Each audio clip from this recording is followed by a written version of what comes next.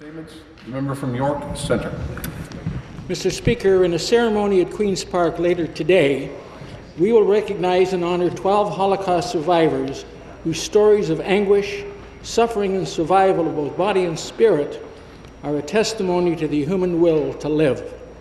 These Holocaust survivors who are in the House today came to Ontario, rebuilt their lives, and will be honored for their wonderful contribution as citizens of Ontario.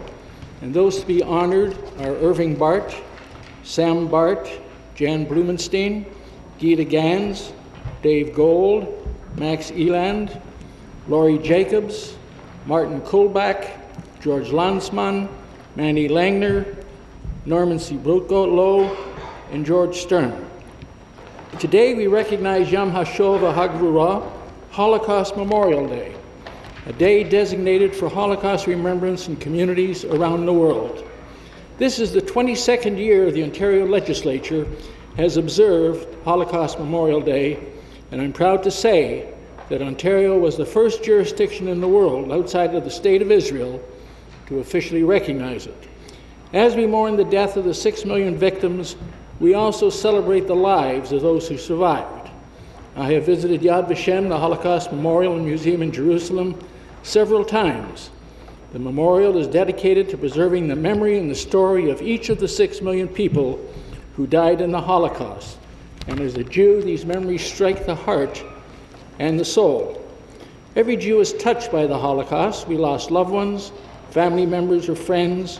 All members in the community lost someone. The Holocaust echoes through the generations. The loss is extraordinary. At Yad Vashem, that loss is made real. It is concrete. You can touch it.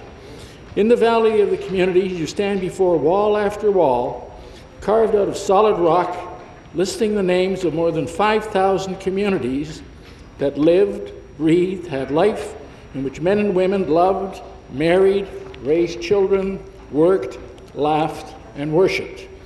Today, in most cases, nothing remains of these Jewish communities except for their names, forever frozen in the bedrock of Yad Vashem.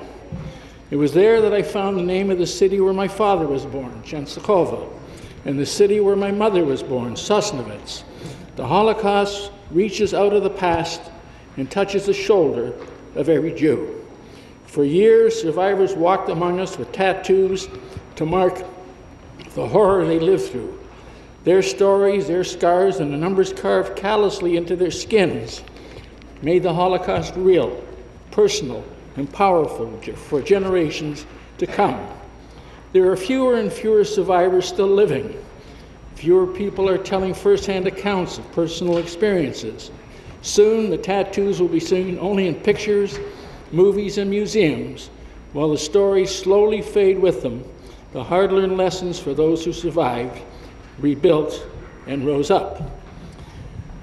The central theme of Holocaust Martyrs and Heroes Remembrance Day 2015 is 70 years since the end of the war, the pain of liberation and rebuilding a life.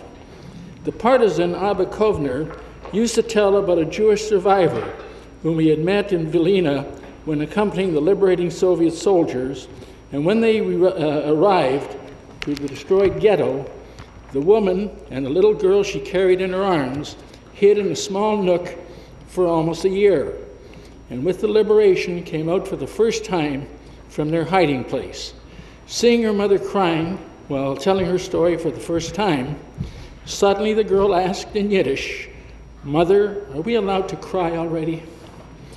Holocaust Memorial Day commemorates all who died in the Holocaust, not just Jews. We also remember those whom the Nazis targeted for their race, their religion, their politics, their disabilities, or their sexual orientation. It's important to set aside time to remember all these victims whose lives were taken by the Nazis, and in remembering, we bear witness to what these men, women, and children endured. Tragically, other genocides have followed since World War II in Cambodia and Rwanda, Darfur, and in Bosnia. It's evident that we must continue our struggle to keep alive the spirit of the Universal Declaration of Human Rights approved by the United Nations 67 years ago in the shadow of the Holocaust. The Declaration recognized inherent dignity and the equal and inalienable rights of all of its members of the human family as the foundation of freedom, justice, and peace throughout the world. It called on the world to protect human rights by the rule of law. We are indeed fortunate to live in Canada and in Ontario, but we must never take our good fortune for granted. We must guard our democratic institutions and democratic freedoms. We must appreciate, nurture, and protect them. And we must constantly remind ourselves how easy it is to lose them. On Sunday, April the 19th, 2015, at 11 a.m., a community Holocaust commemoration ceremony will take place at Beth Abraham Yosef of Toronto at 613 Clark Avenue West, Thornhill, to commemorate the six million Jewish souls who perished in the Holocaust and to educate future generations of Canadians about the universal lessons of this dark period in history. On Yom HaShoah, Jewish communities around the world uh, recite a brief traditional mourner's prayer, the Kaddish. I want to continue our tradition of saying Kaddish in memory of those people whose yahrzeit is unknown. And on behalf of the victims, the survivors, and their families, I'd like to recite that Hebrew prayer that is something for which all people may pray. And I ask for unanimous consent to allow me to do that. The member from York Centre has asked for unanimous consent to recite the prayer. Uh, Do we agree? Agreed. But I ask all members of the House to please stand while the member from York Centre recites the prayer?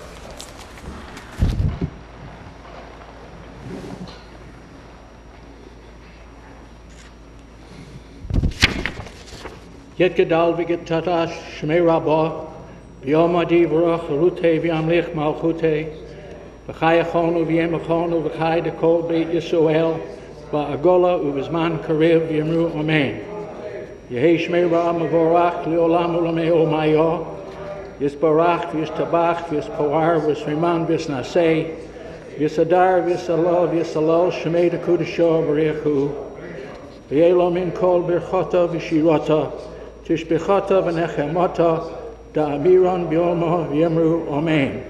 יהי שלום רבו אמן שמיה, וחיים עלינו ועל כל ישראל, v'yamamain. Ose shalom b'rememov. Huya ase shalom. Olenu v'yalko Yisrael. Rimu. One line of this prayer translates as He who creates peace in his celestial heights, may He create peace for us.